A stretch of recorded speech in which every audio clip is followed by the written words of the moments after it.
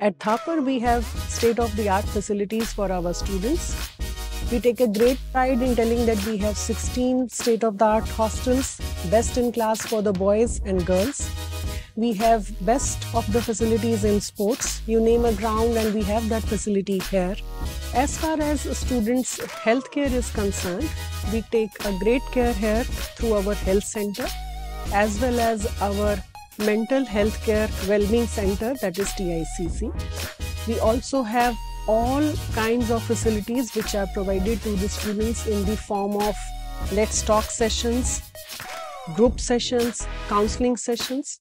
And beyond that, we also have our mentorship program for students so that we can help them in adjusting well on campus and their onboarding is quite smooth.